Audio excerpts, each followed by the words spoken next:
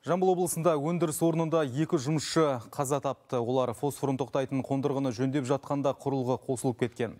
Қазір Жамбыл облысында әріптесім Нұрдос Болатұлы тікелей байланыста. Нұрдос қайғылы жағдай қашан болған баяндап берсеңіз. Рахмет, Дархан оқиға кеше кешкісін Қазасфат серіктестігінің Сарысу аудандағы бөлімшесінде болған. Аудандағы Қаратау кен өндіру комбинатындағы фосфорын тақтайтын құрылғы жөндеу кезінде ол кенеттен іске қосылған ішінде 5 жұмысшы болған екен. 1987 және 1994 жылғы туған екі қызметкер оқиға орнында бірден қайтыс болған.